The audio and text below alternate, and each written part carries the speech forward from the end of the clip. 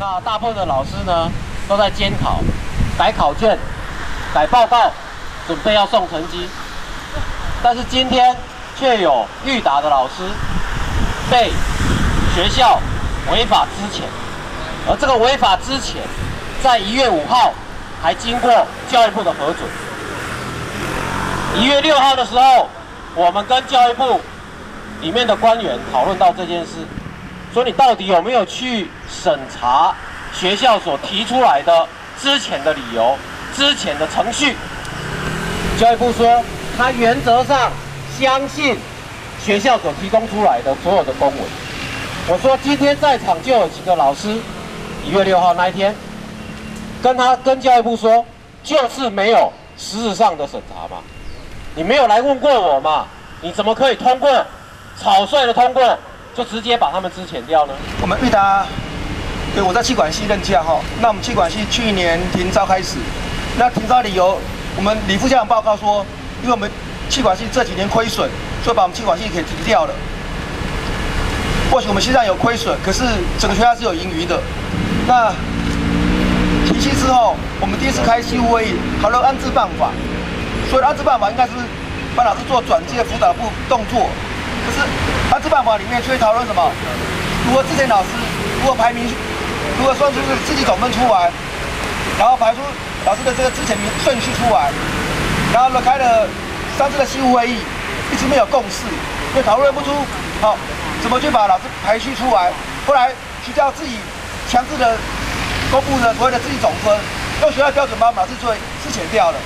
我在学校从第二年，呃，现在已经学校成立有十五年的时间，刚满十五年。我是第二年进入学校，照理说是资深老师，但是呢，目前所面临的是配合教育部的政策，我们是被强迫恶意的资遣，但这之前当中有没有沟通？没有，在我们提出反对这之前案的。申诉的过程中多次反映，但是教育部没有做任何说明，学校也没有对这个部分加以说明，只是片面的把一些资料交给教育部，教育部就同意了这个资遣案。各位，你想想看看，这是不是一定有一些不可告知的一些事实在里头？我们不要求太多，我们只是希望他能够做说明。把这一件事情或学校提供的资料告诉我们，告诉我们到底凭哪一点之前我们的？哎，不过基本上我还是要跟各位就是说，过去我在审查教育，我过去我在审查，过去我在审查裕达科大所送出来的之前案的过程里面，因为没有让老师有表达意见的权利，所以我们现在补正这个程序非常简单。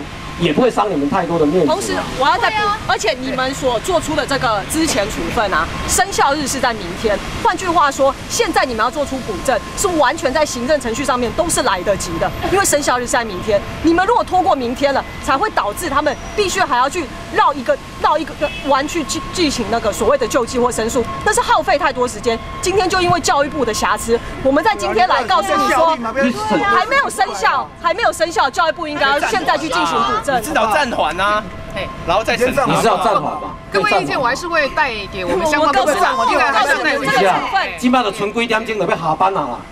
今麦要足足紧，今仔就无啊啦。看你是要暂缓无啦？不，行政流程它有它行政法定流程的走到哪一个阶段？你自己自我纠正是很什么事情？教育部组织，哎，对不对？不不。因为基本上学校里边呢，他一定相关的举证，它都已经举证完备。各位认为有？如果假设不不，如果各位认为哦，学校里边有伪造文书，有不当陈述，当然基本上这个部分我起码讲的是你的程序，不是学校的程序你们的程序有瑕疵，是你的程序，不是学校的程序啊。程序没有让建议了，我们可以建议未来去做相关部会，所以他在审查评评知错要能改，哎，知错要能改啊。所以你们的政策就是要让老师疲于奔命去申诉去诉讼，也不能好好教书知错能改，很简单的事情嘛。